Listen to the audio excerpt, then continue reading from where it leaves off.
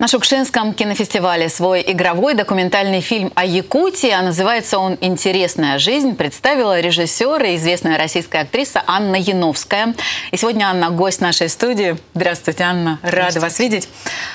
Ань, а в первые дни фестиваля здесь у нас, у вас жизнь интересная? Жизнь, она вообще интересная. Я как бы уже в первые дни фестиваля, а на самом деле а, я уже где-то нахожусь здесь дней 10. Mm. Представляете? А, такая вдруг у меня... А, у меня бывает так, что-то как вступит в голову. И я подумала, раз уж я еду э, сюда, в эти места, э, всегда по всем рассказам моих коллег, это какие-то священные места, места силы. Я ну, думаю, первый раз вы здесь у нас. Да, я много слышала. И вот подумала, раз уж я сюда еду, раз такая вот честь мне оказана, что меня пригласили на Шукшинский фестиваль, еще и фильм будут мой здесь показывать, ну, мне нужно посмотреть Алтай. И я, честно говоря, по своей необразованности подумала, что Алтай, это ну, в общем, Алтай, это да? Барнаул, э, это Барнаул, а так где-то дня два до Барнаула я, значит, тут про еду по Горному Алтаю, посмотрю все-таки места интересные, нужно, вот.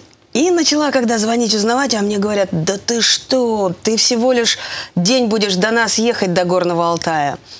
Я не знала, что там есть такие места, как джазатор, например, угу. что это аж до монгольской границы весь наш Алтай, что страна, в общем, наша огромная, вот представляете. Вот, и я, эм, когда поняла, в общем, в чем дело, я поехала чуть пораньше, где-то дней за 8, и Сейчас я объездила ну, практически весь э, Горный Алтай до, до монгольской границы. Добралась и вернулась вот назад сюда, в Барнаул. Коротко, конечно. Слушайте, что... это невозможно. У меня невозможное впечатление. У меня просто какая-то, честно говоря, это все-таки действительно вот э, фантастический край.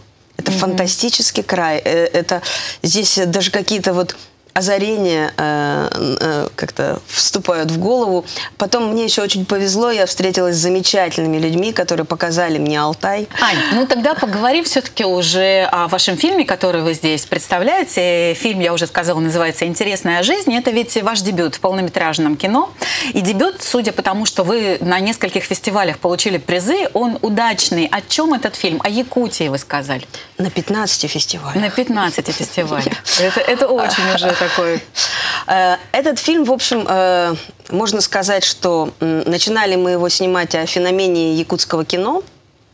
А вы знаете, что в Якутии там э, кинобум, что там снимается очень много фильмов. Ну, как Голливуд практически. Да, да, это якутский Голливуд. И вот как-то эта тема очень, этот образ какого-то северного города, где снимается очень много фильмов, где люди живут какой-то жизнью, творческой, интересной жизнью, он как-то меня вдохновил, и я решила снимать, исследовать этот феномен якутского кино.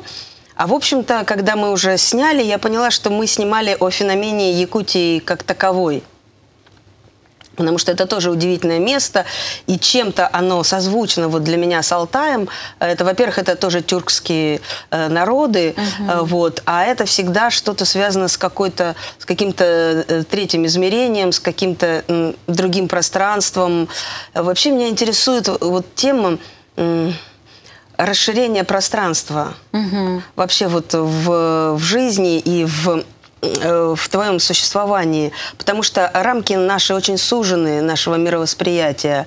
Э, и в Москве, в Питере там как бы движешься по своему коридору, а когда ты попадаешь вот в такие места, пространство, оно настолько расширяется, настолько ты понимаешь, что возможности безграничны, и в тебя вселяется какая-то такая внутренняя сила – Э, ну, которая помогает дальше жить. Я знаю, что съемки в Якутии были очень сложными и полны неожиданностей. Вот некоторыми поделитесь с нами, с ну, нашими очень, зрителями. Очень было много приятных неожиданностей и разных неожиданностей.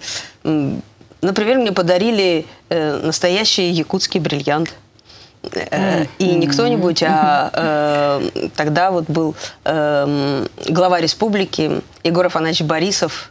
Уже после нашего разговора, когда он э, просто нам решил помочь, э, наш, поддержать наш проект, наш фильм, э, вот, и потом говорит, вот сейчас я хочу подарить вашему режиссеру наш якутский бриллиант. Угу. И, достает, и достает он такую коробку, открывает – там вот таких вот размеров бриллиант. И так вот через весь стол подвигает ко мне. И у меня где-то секунд на 40 помутнение в сознании. И я думаю, боже мой, может, уже вообще не надо никакой фильм снимать. Вот. И когда он, значит, так придвигает, я смотрю, там написано «Привет из Якутии, Сваровский» там, ну, угу, сувенир. Угу. Вот, но на самом деле этот сувенир положил очень э, такое настоящее, ну, как начало нашей э, взаимодействия. И э, действительно, э, и глава республики, и вообще республики, э, республика помогла мне очень и обеспечила нас очень многим. И поэтому я хочу уже наконец когда-нибудь приехать, и ведь там еще не было премьеры фильма. Угу. Не было премьеры. А фильм как бы мы объездили много уже... где показывали, да, да и за объездили... границей вы очень много его показывали. Как зрители воспринимают? Потому что, ну, я так понимаю, критики хвалят, и у вас очень много призов. И вообще, о чем нужно сейчас снимать кино, чтобы зрители ходили? О, это такой вопрос э, интересный. Ну, я понимаю, да. Вы знаете, что... мне кажется, я лично не ориентируюсь. Ну, то есть я, естественно, где-то на седьмом круге подсознания ориентируюсь на зрителя, но я э, доверяю в этом смысле себе то, что мне будет интересно, то так реально интересно. Не, не так, что вот, а вот реально интересно мне, и это должно быть реально интересно зрителю. Опять же, э, может быть, это будет не все зрители как Гоголь говорил, что вот вышла книга, угу. вероятно, где-то есть и ее читатель. Угу. Поэтому главное, чтобы было интересно мне, а тогда это будет интересно вам. А зритель вообще как воспринимал этот фильм ваш? Здесь у нас в России, за границей. Вы знаете, ну, это может быть так интересно, вот такие мои наблюдения. Я люблю вообще смотреть на зрительское восприятие. И очень интересно, что в каждом кинотеатре это как, как разный фильм. Угу. И в каждом месте. Э, то есть, ну, естественно, это один и тот же фильм, но как бы восприятие мое и как я смотрю, как люди воспринимают, и вдруг слагается там каждый раз разный фильм. И каждый раз, куда бы мы ни приезжали, люди говорят, а может быть вы приедете и к нам, и, и тоже о нашем крае. А вот это был мой следующий вопрос, потому Там что снимете такой фильм. Об этом я тоже читала. Так вот, об Алтае снимете фильм? Вы знаете, конечно, Алтай меня очень привлек, я скажу честно. И у меня даже есть одна мысль, э, чтобы можно было тут снять. Угу. Это она вот родилась как раз сейчас, во время вашего ну, визита? Она, можно сказать, что она сформировалась, угу. да. Я поняла, потому что вот мы были в тех местах. Это, конечно, очень... Это полусказочные места такие там Гейзерово озеро, например, или Катуирык, э, вот. И это какое-то вот мне хочется придумать молодежное фэнтези. Угу. Такое. Честно говоря, мне бы хотелось снять фильм такой, э, как вы говорите, вот зрительский. Все-таки вы приехали на Шукшинский кинофестиваль. Василий Шукшин вам ближе, как актер, режиссер или драматург? Знаете, это он настолько многогранная личность, э, поскольку я все-таки интересуюсь э, современными авторами и ну, я имею в виду прозой, романами, и я много читаю. Вот, э, естественно, я читала его и читаю, и сейчас я как-то прошлась по его рассказам, и эм, с большим, он, конечно, человек с большим юмором, и mm-hmm. очень мне близок его э, стиль. Вот. И, э, и фильмы я его люблю. Я не могу разграничить. Есть такие люди, которых нельзя как бы разделить, где он лучше, где он угу. хуже. Это, он просто талантливый человек, и этот талант, он как бы покрывает все, э, все чем он занимается. Угу. Анна, ну вы же актриса. Ну, вы, вы и с известными актриса. актерами играли. Почему в какой-то момент вы вообще решили встать по другую сторону камеры? Вот я говорю, вот у меня есть такое, мне хочется все время расширять пространство. Вот это тоже, вы, да, это я же, вот, да? Я вот не могу идти по узкому коридору, как бы. А, а актерство это такой все-таки узкий коридор для вас, да, оказался? Ну, это узкий коридор, во-первых, э, в плане даже общения человеческого. Ведь актеры, они все-таки немного в, своих этих самых, они соответствовать должны своему образу. Угу. А мне всегда э, хотелось быть свободной в этом смысле. Вот я сейчас абсолютно, я очень люблю э, играть, и я играю в театре, и снимаюсь в кино периодически, и с удовольствием бы снималась у своих коллег, угу. э, у режиссеров хороших.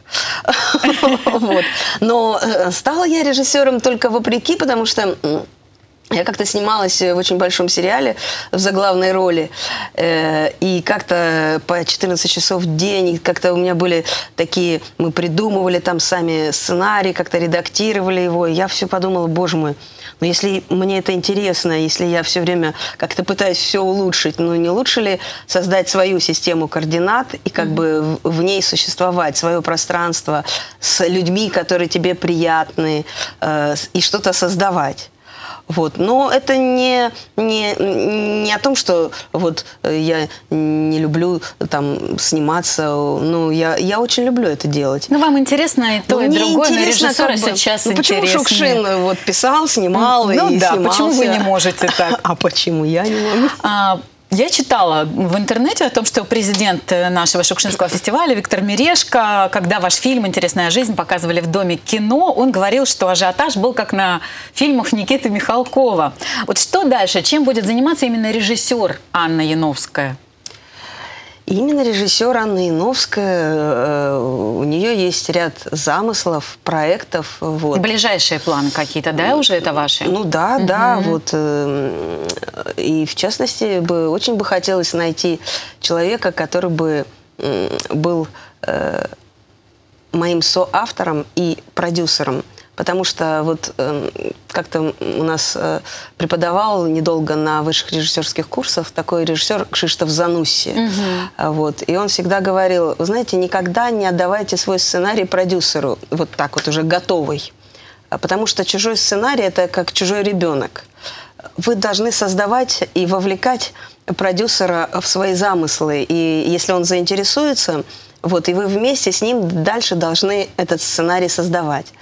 Поэтому вот мне бы очень хотелось найти такого продюсера, который бы и соответствовал и моему мировосприятию, и чтобы с ним можно было как-то контачить. Угу. Это очень важно, потому что у каждого человека свое мироощущение, и, и вот найти вот такой вот контакт, чтобы с ним дальше идти и создавать этот проект – это очень важно. А проектов вообще много, я так понимаю, в голове ну, есть? Ну да, много. А, а как?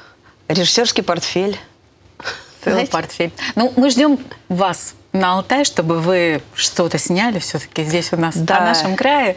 Я бы с удовольствием. Я желаю, чтобы это у вас мечта или, я не знаю, не мечта, может быть, какой-то проект сбылся обязательно. Спасибо, Спасибо. Анна. Спасибо. Спасибо. А я напомню, что сегодня мы говорили с Анной Яновской, режиссером и актрисой.